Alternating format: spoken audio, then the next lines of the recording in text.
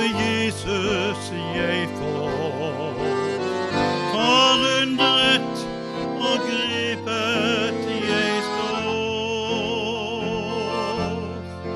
At kongenes konge til Golgata gikk, og livet for syndere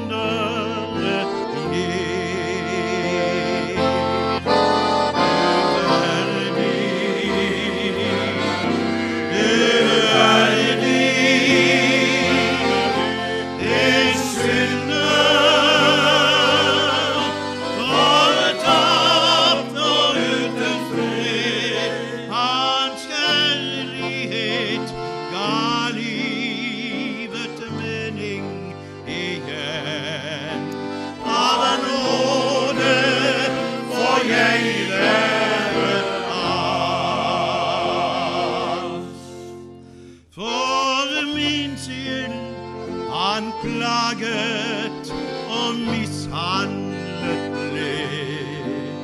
For meg gikk han lidelsens vei. Den krone av tårner som frelseren bar. Han burde ha gitt den til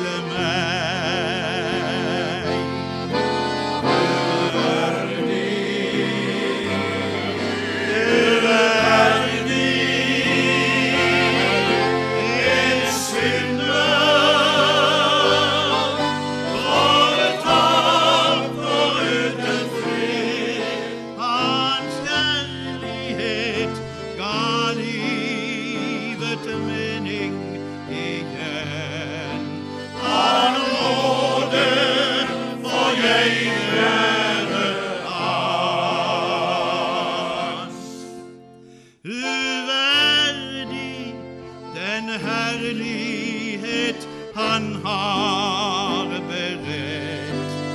Min sjel er takknemlig og glad